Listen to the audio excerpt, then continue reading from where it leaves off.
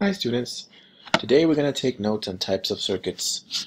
We're going to do it a little bit different today though. We're actually going to see the pictures and I'm going to lecture a little bit first and then you're going to write all the notes that will be displayed so you can just pause the video and then copy them at your own speed and you know think of what you just heard and then write your summary at the end.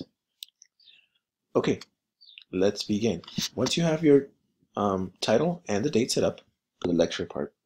So a circuit when you're talking about electricity, is a path where electrons can flow. So the word electricity comes from the word electron. Electron, electricity. You hear that? So in a circuit, the electrons flow, usually from the negative, or always, from the negative uh, part of the battery to the positive side.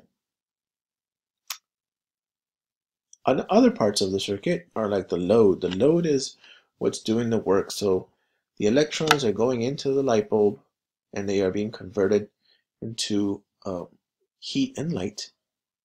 So that they're doing the work of creating uh, light. So that's the load. So microwave, charging your phone, all those would be loads. If the circuit is incomplete, then you do not have the flow of electrons.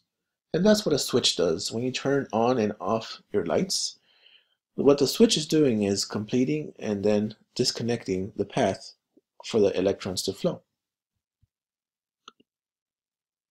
There's two types of circuits. In a series circuit, the electrons flow in a path, but there's only one path they can take. Christmas lights used to be connected in series circuit, and when one of the Christmas lights would go off, the other ones wouldn't work either. So if this light bulb breaks, this won't, won't operate anymore.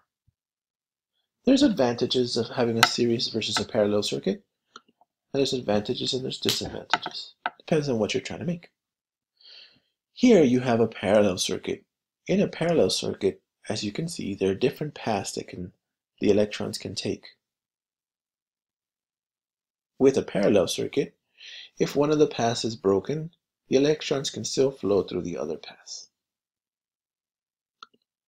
You, your home is uh, wired in a parallel circuit.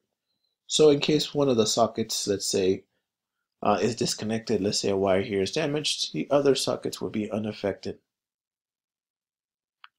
Okay, now that that's done, the lecture part of this, here are the notes for today, which are include what we uh, just uh, we just heard. So take a few minutes to write your summary, the notes, the advanced question, and also the questions on the left. Have a great day.